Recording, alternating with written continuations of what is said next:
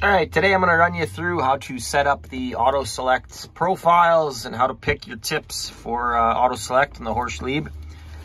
Uh, first thing, you know, you got to go pick, pick your tips and install them. So this is a 4-2 auto select systems. That means I have four nozzle bodies here, two nozzle bodies right here.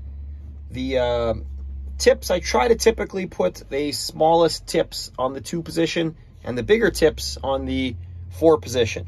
In this case, I have a yellow in the back, a blue 03 twin fan in the back, a green one and a half in the front, and that front of that four position is empty. And then I have a blue 03 in the front and an orange 01 in the back. It's important uh, to take a picture so you know what numbers to put in here. So we'll go to our monitor, we'll hit the nozzles, we'll go to the wrench, and we have to tell the machine what tips are in what position. So this is the four position right here. This is the two position. So I look at my at my uh, picture here, I can see the green is right in the front top left corner. So I'm gonna hit that same one right here. Then I'm gonna hit where it says NA. I'm gonna go down and pick green. Down here, it's showing us the minimum pressure and the maximum pressure. So in this case, I don't really wanna go above you know, say, or sorry, below 20, let's say 25 PSI. And we probably don't want to go above, in this case, we'll say 40. Good. Now we'll do the same thing for the rest of the tips. Um, these outside squares around each box, that is the color of the airline that leads to that tip. So the next one we got to put in is the yellow tip. So this guy right here is going to be yellow. And then same thing, we'll go, you know, 25 to 40 PSI. Maybe 45, we'll go a bit higher. Same thing with this guy. We'll go to 45. Good. So right beside it, we had a green tip in this, or sorry, a blue tip in this position. Oops. Blue.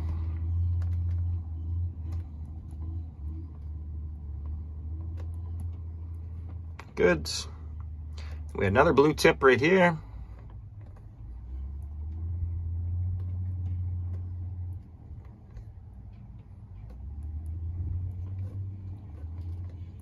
So you have to set the pressure for each one of these tips.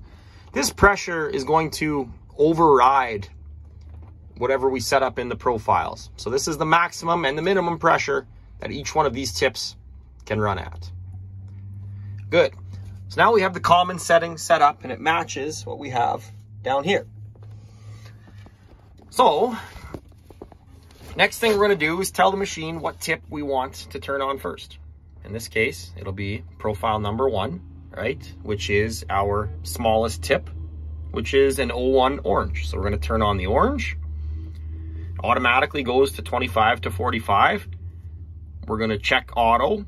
And then we're going to turn this guy here to in this case, we're going to do a 20 inch boom height. So it'll always run at 20. So that's our first profile. It says profile one up here at the top.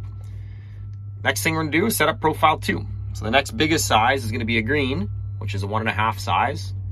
Oh, while we're on here, if we're on just the one position or the two position turned on by itself, what that means is this is, you know, 150 feet here, right? And this is one nozzle body in. So we got to make sure if this guy is on by itself, like it is right now, we turn these guys on too.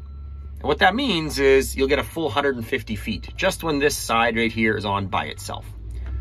Good. Next one will be that green tip right there. We'll turn it to auto. We'll change our boom height to 20. So when we go through these profiles, it can actually change the boom height as you cycle between all the profiles. Next size will be an 02, which is yellow, which is that guy right there change our boom height to 20. Automatic. Good. So the next size we need up will be a one and a half plus a one, which would give us a two and a half size. So we'll turn on our 01 orange and we will turn on our one and a half green which would give us a two and a half size.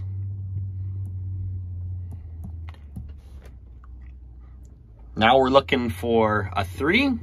So we'll go up one more and we'll turn on just the three.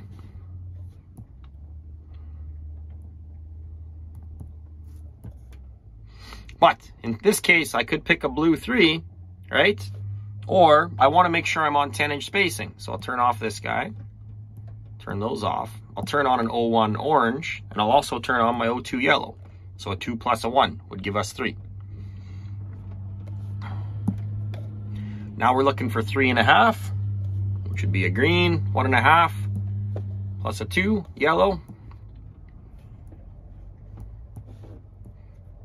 Good. So now we're looking for a four, which would be orange plus blue is four.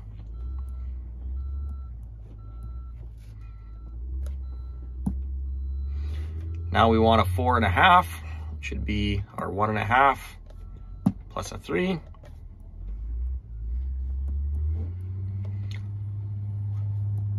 Next one is five, which should be a three and a two.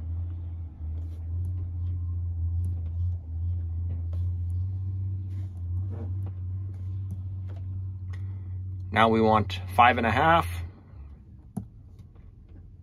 be a one and a half,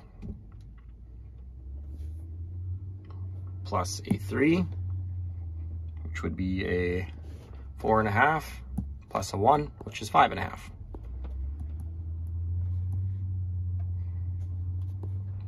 Now we're looking for six, which is three and three. Oops. That.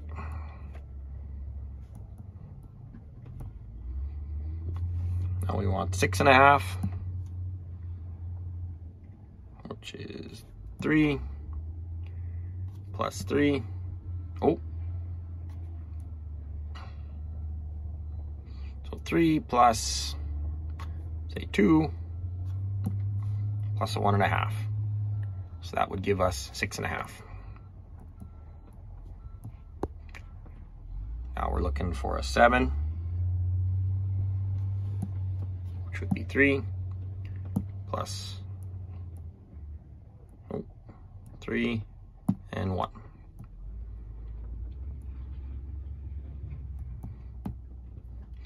Now we're looking for 7.5. 3 plus 3 and 1.5.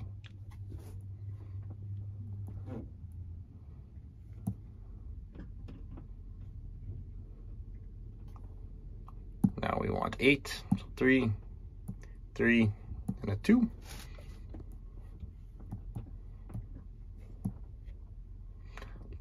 And the last profile is profile 16. So that would just be, you know, all of them on.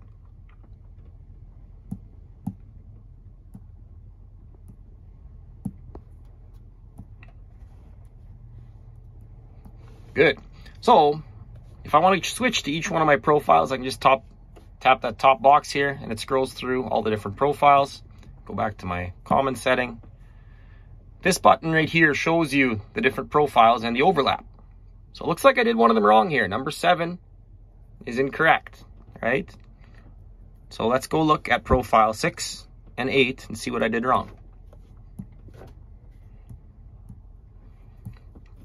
So six is a two plus one and a half, so that's three and a half.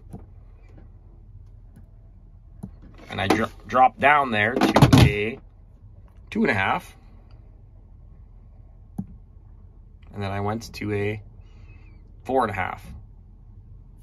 So I should have found a four somewhere there, which would be a three plus a one. So if I turn this guy off, turn this guy on, I bet this looks a lot better now. Not bad. So now we have almost overlap between all of these profiles. The only one where we don't have some overlap would be between number one and number two. So we could increase the pressure now or decrease the pressure of number two. So we decrease number two or increase number one to make sure they all overlap. If they don't overlap, you won't be able to go into automatic mode.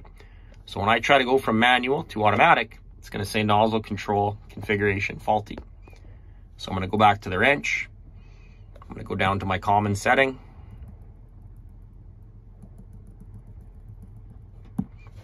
So I know that first profile was just this tip on by itself, right? I know the second profile was this guy right here on by itself. So if I go to that 015 green and I say I lower this pressure down to say 15 on the low end. Let's go take a look at it now.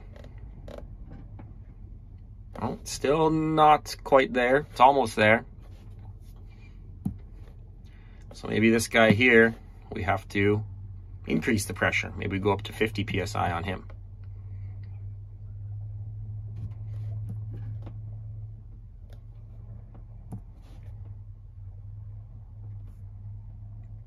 Still not quite.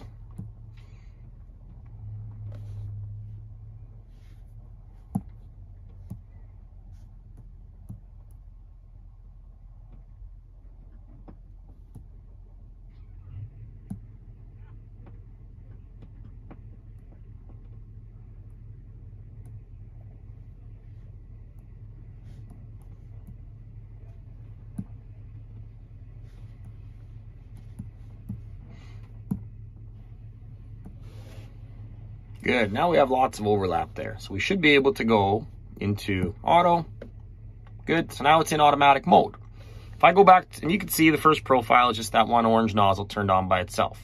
If I'm in manual, I can manually pick whichever nozzle I want to spray. If I leave it like this, it'll be just one green nozzle spraying by itself.